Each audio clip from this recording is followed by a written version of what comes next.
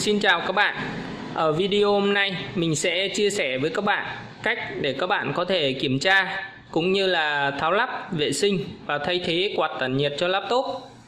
Quạt tản nhiệt ở đây hay còn gọi là fan laptop nha các bạn. Thì khi ờ, quạt tản nhiệt của laptop không quay, laptop của các bạn có thể ờ, xuất hiện những cái biểu hiện như là treo, đứng máy, tự động reset hoặc là tắt máy thì sẽ rất nguy hiểm và về lâu dài sẽ dẫn đến những cái ờ, hư hỏng không đáng có cho chiếc laptop của các bạn nhé. Thì ờ, để kiểm tra, với những các bạn không có chuyên môn cũng như là không biết cách tháo máy ra để kiểm tra thì các bạn có thể ờ, mở máy, sau đó ghé tay vào cái phần khe tản nhiệt. Mình lấy ví dụ ở đây nhé. Đây là cái phần khe tản nhiệt này ở trong nó sẽ có một cái bộ phận tản nhiệt, cái quạt tản nhiệt nó sẽ thổi gió qua cái khe tản nhiệt này nhé thì các bạn hãy mở máy lên và các bạn nghe thử coi ờ, quạt có hoạt động hay không, gió có thổi ra hay không. Nếu mà quạt không chạy, các bạn không thấy có gió thì các bạn nên ờ, thay thế fan tản nhiệt cho chiếc laptop của các bạn ngay. Và sau đây thì mình cũng sẽ tiến hành thay fan tản nhiệt cho chiếc laptop Dell E6420 này.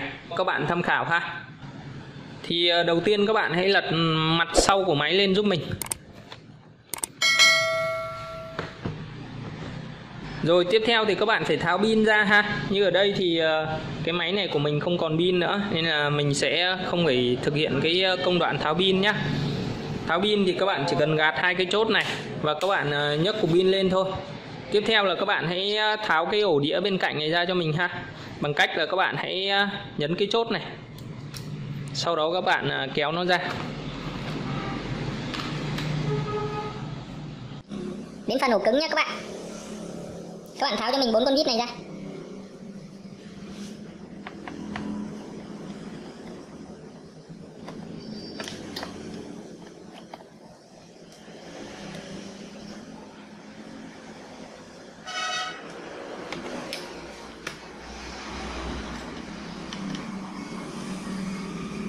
Rồi, các bạn hãy kéo cái ổ cứng ra ha. Rồi, các bạn hãy tháo cho mình à, những con vít ở những cái vị trí này ra.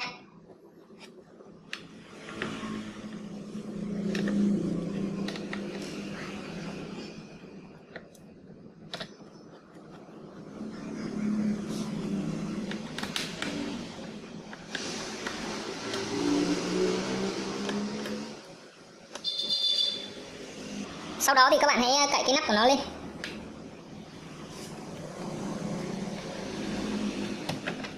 Rồi, các bạn nhấc ra ha.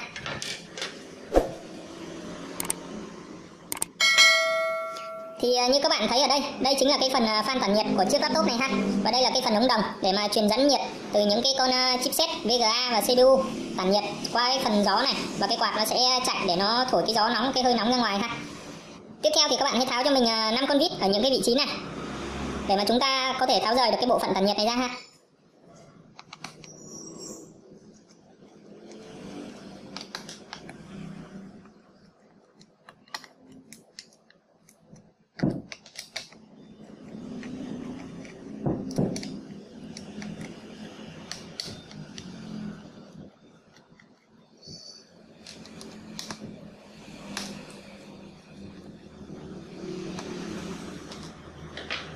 Rồi các bạn hãy à, rút cho mình cái cọng cát này ra nhé cắm nguồn của cái à, fan tản nhiệt. Các bạn cứ thế rút lên thôi. Rồi, các bạn hãy nhấc cái bộ phận tản nhiệt ra.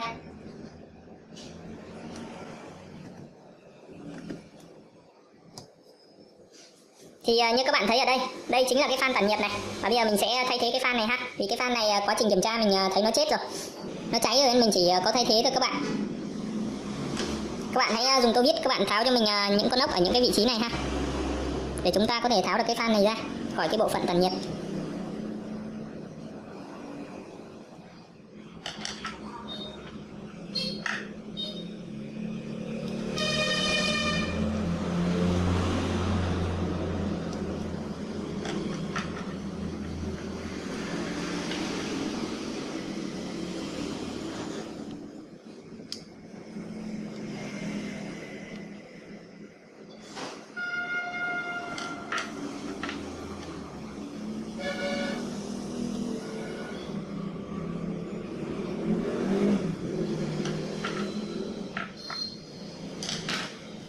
Rồi, các bạn hãy nhấc cái fan ra ha.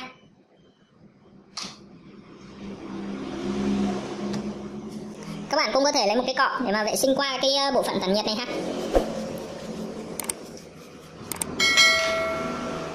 Các bạn hãy xịt cho bay hết bụi bẩn đi.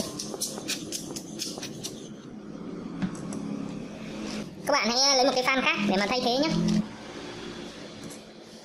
các bạn hãy đặt đúng vào vị trí ban đầu ha, và bắt vít lại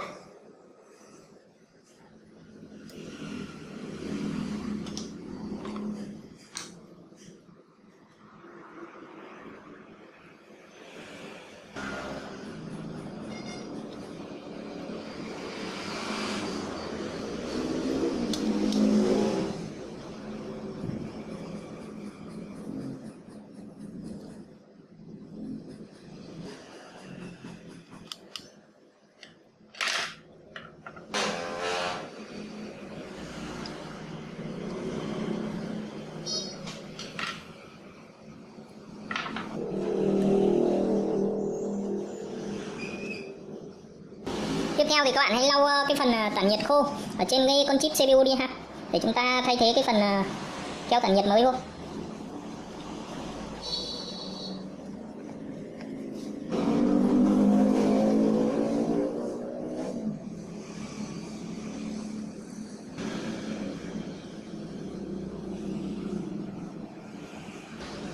Rồi, các bạn hãy lắp lại bộ phận tản nhiệt ha. Các bạn đặt đúng vị trí này sau đó các bạn bắt ốc vô ha. Các bạn bắt đối xứng cho mình nhé.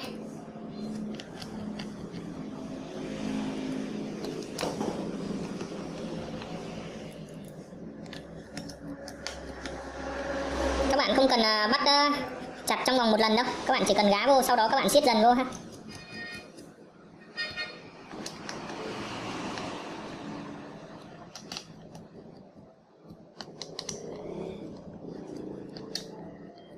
Sau đó thì các bạn nhớ cắm lại cái ờ, dây nguồn cho cái fan tản nhiệt của chúng ta ha.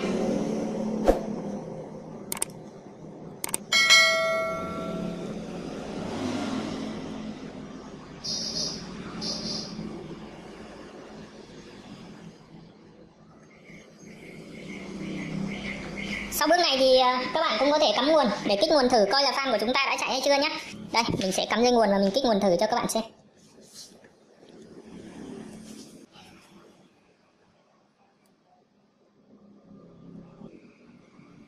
Rồi, như các bạn thấy ở đây, fan của chúng ta đã chạy ok ha?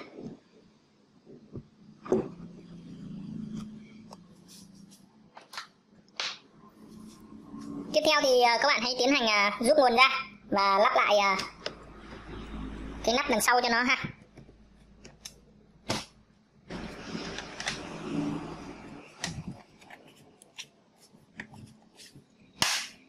Các bạn đặt lên và các bạn ấn để nó có cái lẫy nào thì nó ăn hết vô ha rồi, các bạn hãy gắn lại ổ đĩa này. Các bạn ấn cái chốt này vào ha, để khóa nó lại. Các bạn gắn lại ổ cứng này. Rồi, các bạn hãy ờ, bắt vít cố định cho mình nhé.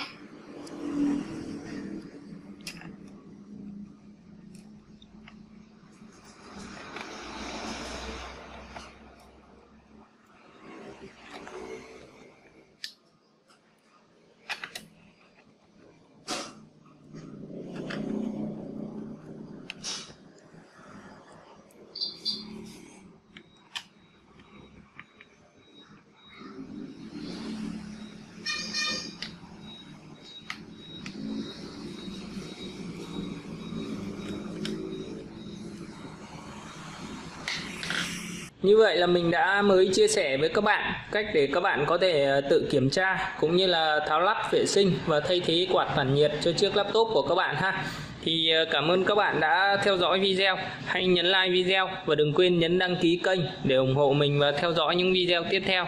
Xin chào các bạn.